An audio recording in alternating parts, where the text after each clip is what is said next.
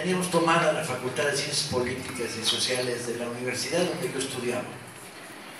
Estábamos en el mes de julio de 1968 y la ola de, activistas que dormíamos ahí en la facultad, hombres y mujeres, dormíamos en el salón de la dirección, tapados con una cortina gigantesca. Entonces pasaban al final, cuando ya estábamos acostaditos, pasaban unos compañeros tendiéndonos la cortina por encima. Estábamos sobrados de energía.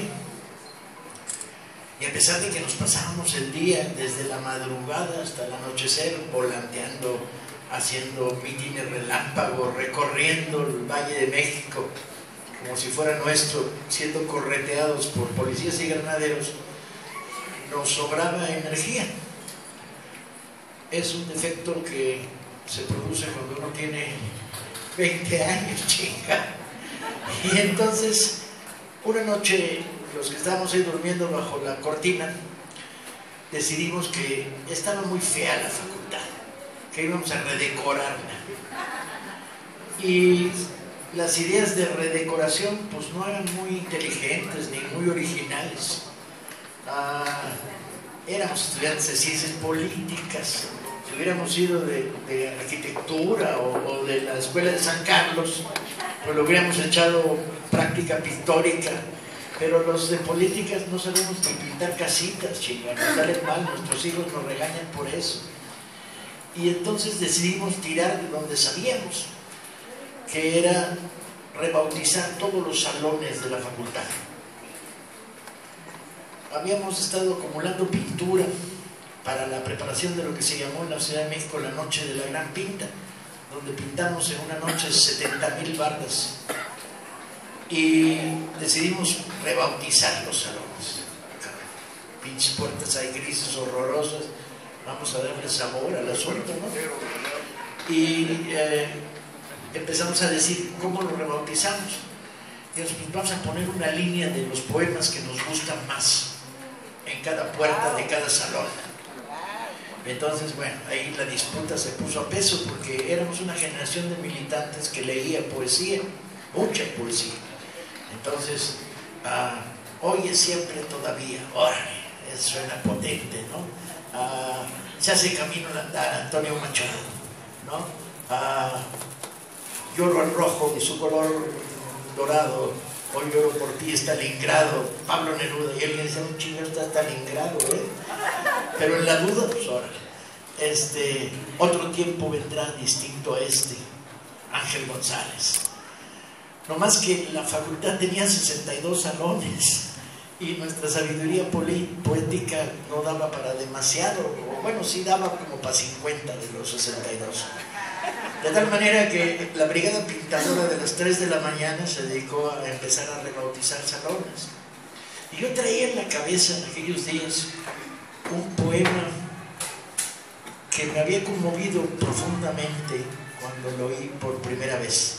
Era un poema de Gabriel Zelaya, poeta español que había crecido en la España de Franco, que había sido detenido porque era miembro del Partido Comunista y que había escrito un, un, poema que a mí, por razones que no acababa de entender explicar, porque eso es la poesía, la poesía es un impacto que no, muchas veces no alcanzas comprender en su totalidad, pero que primero te revuelve los instintos y luego te, llega la razón,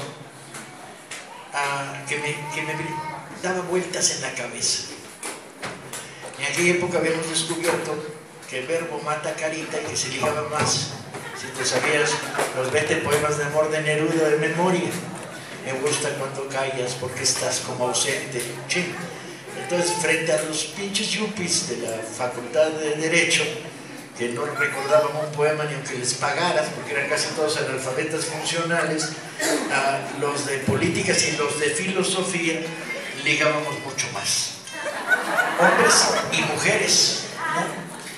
Y yo traía ese poema de Gabriel Zelaya que me bullía en la cabeza, me daba vueltas. Voy a intentar reconstruir los pasados casi 50 años. Como se habrá descubierto ya a estas alturas, uh, yo no es que me haya sumado a la lucha de clases, es que ya soy la pinche lucha de clases. con 50 años detrás de mí de estar peleando contra el infame gobierno que nos ha perseguido a lo largo de todos estos tiempos. Y el poema decía algo así, cuando ya nada se espera, personalmente exaltante, mas se palpita y se vive más allá de la conciencia, ciegamente existiendo, fieramente afirmando, como un pulso que golpea las tinieblas. Y lo pinté. Me tardé más tiempo que los demás que pintaban frases cortitas. Yo me eché el poema, me, me faltaba puerta del salón que rebautizaba. Pero la frase estaba ahí, como un pulso que golpea las tinieblas. Y ha sido mi compañera a lo largo de estos 50 años. Cuando me pregunto quién soy, quiénes somos, porque la ventaja de pasar del yo a nosotros es maravillosa. La ventaja de no ser uno, sino ser muchos. La ventaja de la hermandad en la decisión de que queremos un mundo mejor, que ilumina. Siempre me vuelve la cabeza este como un pulso que golpea las tinieblas. Al paso de los años, a fuerza de leer poesía en el, en el baño, descubrí que por razones de sabiduría las mujeres son más inteligentes que los hombres y me han sentadas, ah, con lo cual tienen más chance de leer en el baño. Ah, decidí eh, leer, me han sentado y coloqué un librero en el camino entre mi recámara y el baño. De tal manera que estiraba la mano cuando iba rumbo al baño y en lugar de meadas de dos minutos, pues eran meadas de 20 minutos leyendo poesía, porque el libro estaba lleno, está lleno, cualquiera que pase por mi casa lo podrá ver de poesía. Y empecé a descubrir que en los momentos oscuros, 50 años en la lucha social, hizo un montón de años, son años de fuerzas, pero también de debilidades de repente la sensación de la derrota, otra vez nos apalearon, estamos aislados, ah, no logramos destruir, esto es el aburrimiento del absurdo, el abuso continuo, la doble lenguaje, la mentira, el cinismo del poder, la represión, compañeros en la cárcel, compañeros muertos. Pues la poesía era como una especie de bálsamo, ¿no? Como de bálsamo bengué, de, pomada contra los dolores de espalda, ¿no? Y fui descubriendo algunos poemas cuyas frases me siguieron acompañando a lo largo de los años. Uno de los primeros grandes descubrimientos fue descubrir a Quevedo y la poesía del siglo de oro español, que está lejos en el tiempo, pero sorprendentemente cerca en la vivencia. Y cuando descubrí los sonetos de Quevedo, pues ya empecé a mear de a 30 minutos, ¿no?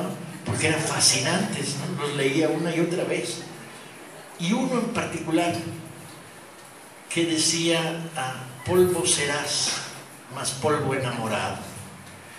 Era la reflexión que yo andaba buscando, que me había hecho tantas veces. Cuando a los 15 años empecé a alfabetizar obreros en Ecatepec y me sacó la policía a punta de pistola, porque era pecado alfabetizar obreros, ¿no? Era un acto subversivo ¿eh? en un país antidemocrático como el nuestro en esas llanuras de Catepec, repletas de tierra suelta, olor a fango químico, ¿no?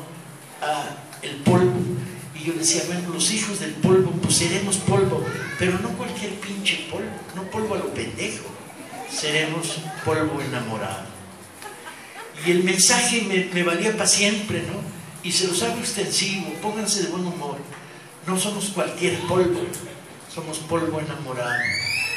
La conciencia social construye seres humanos que tienen una virtud suprema, que es la resistencia y la dignidad, y siempre asociadas.